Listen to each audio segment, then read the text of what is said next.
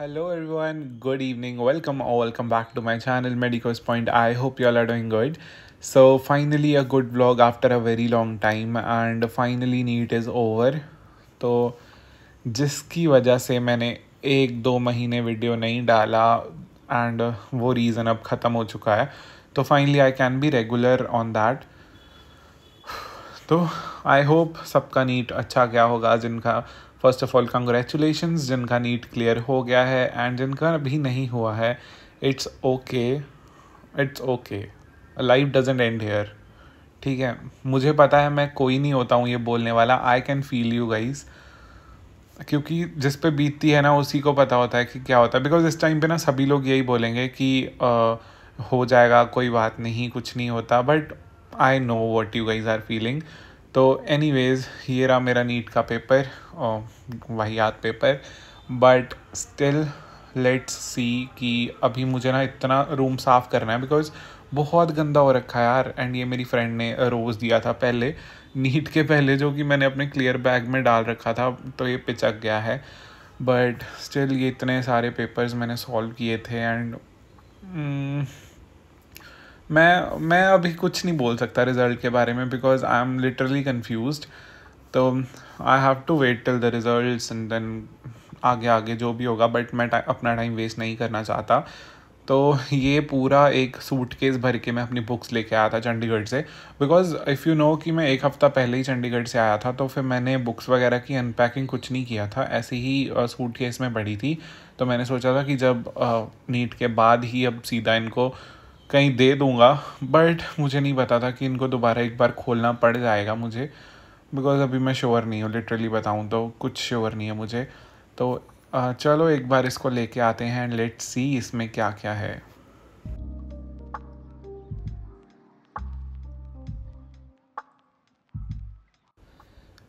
सो so, तो हाँ and बस यही है। लाइक पहले आई वॉज़ लिटरली कन्फ्यूज़ कि मैं व्लॉग बनाऊँ किसका?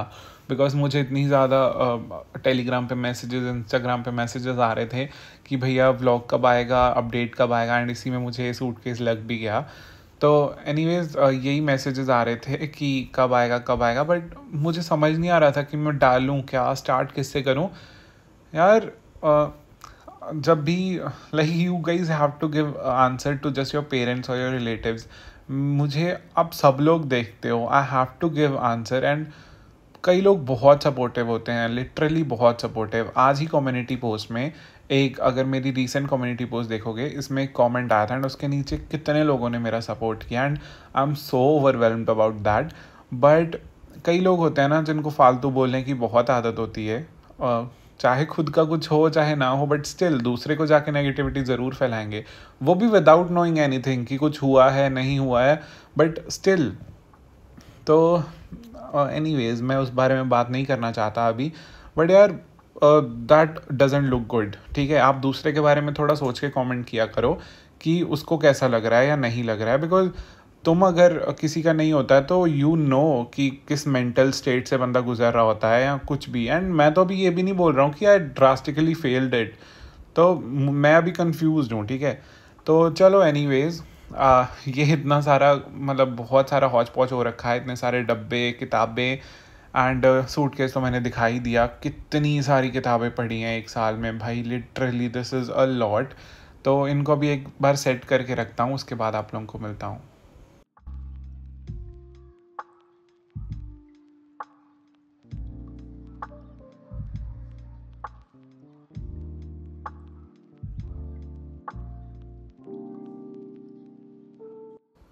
सो so, लिटरली मैं दिखाऊँ ना मैंने लास्ट के कुछ आ, एक महीने इसमें बहुत एग्ज़ाम्स दिए हैं एंड ये कुछ पेपर्स हैं जो मेरे पास इकट्ठे पड़े हुए हैं बाकी तो आधे खो भी गए but these all are my mock test जो कि मैंने दिए थे।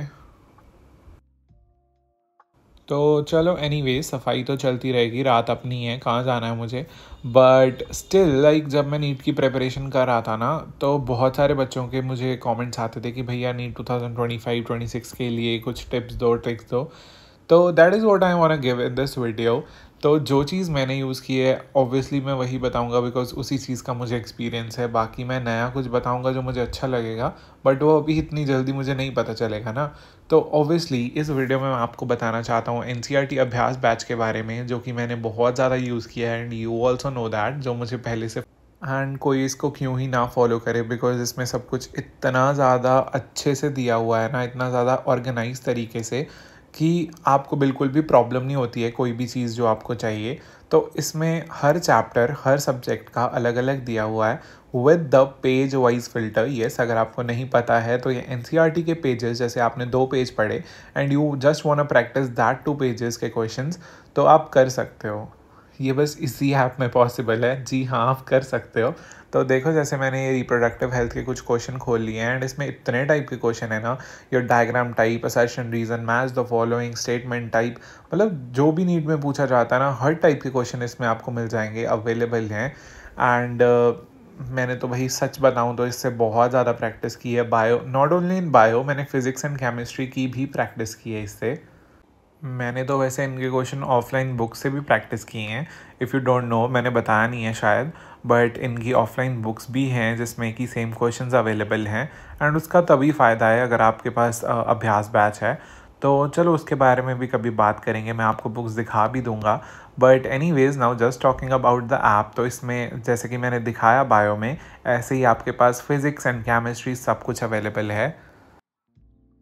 एंड आपको हर क्वेश्चन के वीडियो एक्सप्लेनेशन भी मिलते हैं, जैसे कि अभी मैं आपके दिखा रहा हूँ। जब भी आपका क्वेश्चन कोई रॉन्ग होता है तो you can just click on the show explanation and आपको video and audio and written explanation सब कुछ मिल जाएगा।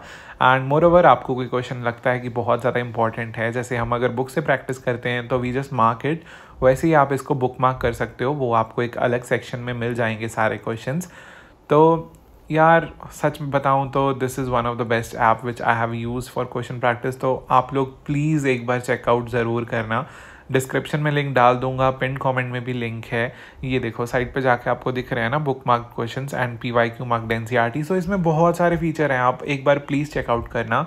एंड अगर इसका प्राइस मैंने आपको बताया तो you guys will be shocked तो अगर आप सिर्फ़ अभ्यास बैच ख़रीदना चाहते हो तो आपको मिलेगा टू नाइन नाइन नाइन में like just two thousand nine hundred and ninety nine and अगर आप इसको बुक्स के साथ ख़रीदना चाहते हो तो आपको मिलेगा ये four thousand nine hundred ninety nine में. तो मेरे हिसाब से तो बुक्स वाला ज़्यादा सही रहेगा बिकॉज़ अगर आपको ऑफलाइन क्वेश्चन प्रैक्टिस करनी है बिकॉज़ बुक्स के साथ आपको like O M R sheets वगैरह भी मिलती हैं साथ में. चलो, उसकी कभी बाद में बात करेंगे. So do check it out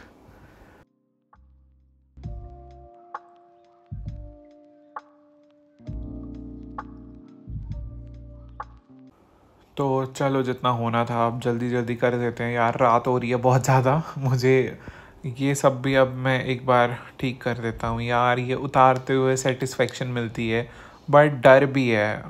पता नहीं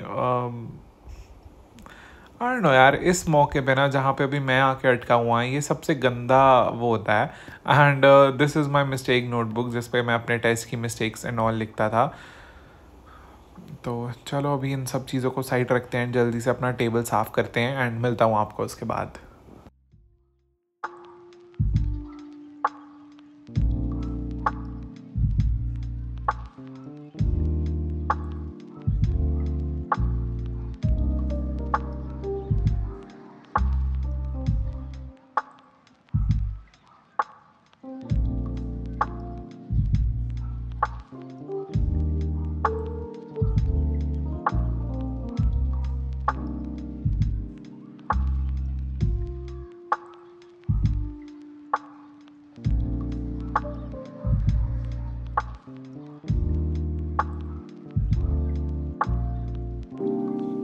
चलो, अब आते हैं मुद्दे की बात पे, जिसके लिए आप सब लोग यहाँ पे आए हो।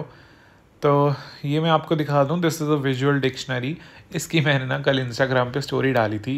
इसमें ना लाइक सब कुछ अवेलेबल है इफ़ आई शो यू ये ह्यूमन अनाटमी फिजियोलॉजी जो भी लाइक ये ऐसा लगता है कि एम की बुक है। But let me show you what is this तो ये ना एक्चुअली एक विजुअल डिक्शनरी है, जिसमें कि सब चीज़ों के बारे में ही गिवन है नॉट ओनली ह्यूमन बॉडी इसमें ह्यूमन बॉडी जस्ट एक चैप्टर है। मतलब आप हर चीज़ के बारे में जान सकते हो the our universe and the machineries and बहुत कुछ है यार। मैंने कभी ये पढ़ी नहीं है, बहुत टाइम से मेरे पास पढ़ी है बट मुझे मिली मेरे आज सूट केस में तो फिर मैंने सोचा कि चलो इसको भी लेके थोड़ा देखते हैं, कैसी है ये। तो मैंने इसकी ना स्टोरी डाली थी इंस्टाग्राम पे तो सबको ऐसा लग रहा है कि अभी से एमबीबीएस की तैयारी शुरू, अभी से ऐसा तो नहीं यार मैंने कुछ नहीं कोई तैयारी नहीं कर रहा हूँ मैं बस ऐसे ही पढ़ रहा था। तो एनी चलो मुद्दे की बात करते हैं कि how was my exam how was my experience तो सबसे पहले तो उस दिन मुझे नींद नहीं आई थी रात को लाइक like, लिटरली मैं साढ़े बारह बजे सोया था एंड चार बजे उठ गया था जिस साढ़े तीन घंटे की नींद ली मैंने। एंड चार बजे उठ के मैं कुछ कुछ पढ़ने लगा। लाइक मैंने पूरी केमिस्ट्री कंप्लीट की, फिर बायो का कुछ पढ़ा फिज़िक्स के फॉर्मूले थोड़े बहुत रिवाइज़ किए एंड फिर नौ बजे तक लाइक ब्रेकफास्ट करके नौ बजे मैं सो गया एक घंटे के लिए। फिर दस बजे उठा रेडी हुआ एंड उसके बाद फिर हम सेंटर के लिए निकल गए। बिकॉज़ एज़ यू नो कि मैं टर्बन टाई करता हूँ तो थोड़ा होता है ना कि कस्टम वेयर के लिए आपको थोड़ा पहले जाना होता है। किसी ने कुछ बोला तो नहीं था बट स्टिल एक सेफर साइड के लिए मैं जल्दी चला गया था। तो उसके बाद मैं लाइक अराउंड बारह बजे सेंटर में पहुँच गया। तो मैं ग्यारह बजे घर से चला था, साढ़े दस, ग्यारह बजे। तो मैं बारह बजे सेंटर में पहुँच गया था एंड उसके बाद ज़्यादा चेकिंग नहीं हुई। इट वॉज़ ठीक, बस जितना थोड़ा बहुत ही होता, उतना ही किया। एंड दो घंटे लाइक बैठा बैठा मैं पक गया वहाँ पे। एग्ज़ाम मिला। बायो मुझे लाइक बॉटनी का पहले ही क्वेश्चन नहीं आता था। मेरा कोड एस थ्री था बाय द वे बॉटनी का पहला ही क्वेश्चन नहीं आता था बट मैं बिल्कुल भी नर्वस नहीं हुआ, मैंने आगे बढ़ा। क्वेश्चन होते गए। फ़र्स्ट राउंड में बॉटनी के मेरे थर्टी सेवन क्वेश्चन हुए थे एंड जोलॉजी के फोर्टी थ्री तो उसके बाद मुझे लगा कि बॉटनी काफ़ी है काफ़ी डिफ़िकल्ट लगी मुझे। मतलब काफ़ी नहीं बट थोड़ी हाँ लेंदी एंड डिफ़िकल्ट मुझे जोलॉजी के कंपेरेटिव लगी। बिकॉज़ टेस्ट में मुझे इतनी नहीं लगती थी तो मुझे ना बायो में बहुत ज़्यादा टाइम लगा दिया and this was my biggest blunder मुझे सवा से डेढ़ घंटा लग गया बायो में, जिसकी वजह से मैं फ़िज़िक्स एंड केमिस्ट्री के कैलकुलेशन वाले क्वेश्चन कर ही नहीं पाया। अब उस बात का मैं रिग्रेट करूँ या क्या करूँ, मुझे नहीं पता बट अब रिग्रेट करके भी क्या ही होगा यार, क्या ही कर सकता हूँ अब मैं, कुछ नहीं। तो वही उसके बाद फिर मैं केमिस्ट्री पे जंप किया फिर फिज़िक्स पे जंप किया। कैलकुलेशन वाले क्वेश्चन मैं छोड़ता गया क्योंकि मुझे पता था कि टाइम जा रहा है नहीं है मेरे पास टाइम बट उसके बाद फिर मैंने देखा थोड़े गेस वर्क भी किया मैंने थोड़ा बहुत जो मुझे लगा कि यार ये हो सकता है कैलकुलेशन वाले क्वेश्चन में। तो वैसे वैसे करके just I completed my exam मैं थोड़ा कॉन्फिडेंट था कि शायद हो जाएगा बट आंसर uh, की चेक करके बायो ने थोड़ा धोखा दिया। But still I can't say anything कि कहाँ होगा, क्या होगा but I am on edge of something मुझे सेमी गवर्नमेंट की उम्मीद है थोड़ी अभी भी।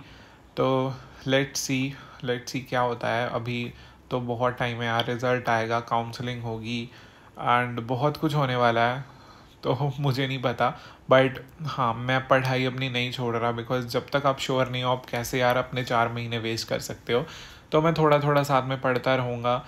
बाकी तो फिर व्लॉग्स में आपको दिखेगा ही because now I want to be regular मैं इसको थोड़ा भूलना चाहता हूँ बिकॉज़ मैं घर पे यार अकेला बैठ के भी क्या ही करूँगा। अब ना तो मेरा घूमने जाने का मन ही कर रहा है कहीं पे, ना कुछ करने का मन कर रहा है, गर्मी भी बहुत है। तो मैं व्लॉग्स बनाता रहूँगा एंड थोड़ा थोड़ा पढ़ता रहूँगा। लेट सी वॉट हैपन्स बाकी भगवान पे छोड़ देते हैं। अब जो होगा अच्छा ही होगा। एनीवेज आप लोग बताओ आपका एग्ज़ाम कैसा गया?